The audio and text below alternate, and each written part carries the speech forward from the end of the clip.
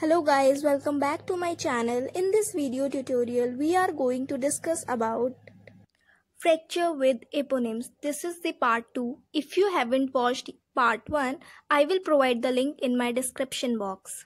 You can watch it from there. And if you are new here, please subscribe my channel and press the bell icon. So let's get started. Nightstick fracture. It is an isolated fracture of a ulna. It means only ulnar bone is involved in this. Then what is the pattern of injury? We have already discussed about the pattern of injury. It will be in transverse line or it will be in oblique line. Next is what is the site of location? Where does this fracture happen? So it is in mid diaphysis area. Then what is the mechanism of injury? It may be direct blow or direct trauma to forearm in defensive stance if patient is trying to protect themselves. Next is barton's fracture. It is an intra-articular fracture of distal radius with dislocation of radiocarpal joint. You can see in the picture. Next is there are two types involved in this dorsal or volar fracture. Then how does this fracture happen? If patient is fall on an extended or pronated wrist, this type of fracture can happen. Chauffeur's fracture as it is an fracture of distal styloid process of radius bone. Now you can see in the picture, you can clearly identify Next is how does this fracture happen? So it is typically caused by compression of the scaphoid bone of the hand against styloid process.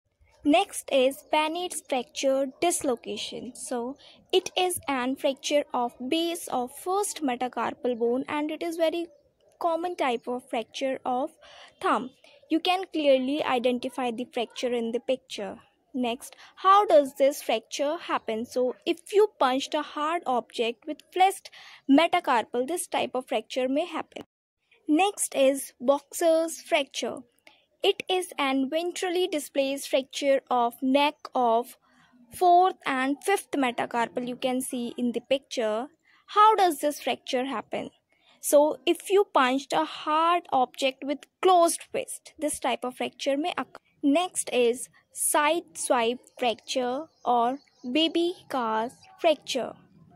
What happened in this type of fracture is it is an fracture of distal end of humerus with fracture of proximal end of radius and ulna bone.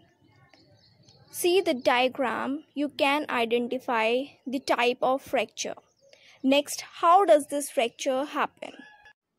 Why we say children's not to put his or her hand out of the window or not to sit with hand resting on an window vehicle's window. So this is the reason while traveling in a vehicle with elbow resting on the window is hit by coming object or a vehicle on the road. Next cause may be fall on an resting elbow or being hit by solid object. I hope this video is useful for you all and if you have any query you can ask me in my comment box. And yes, don't forget to like, subscribe and share. Thank you.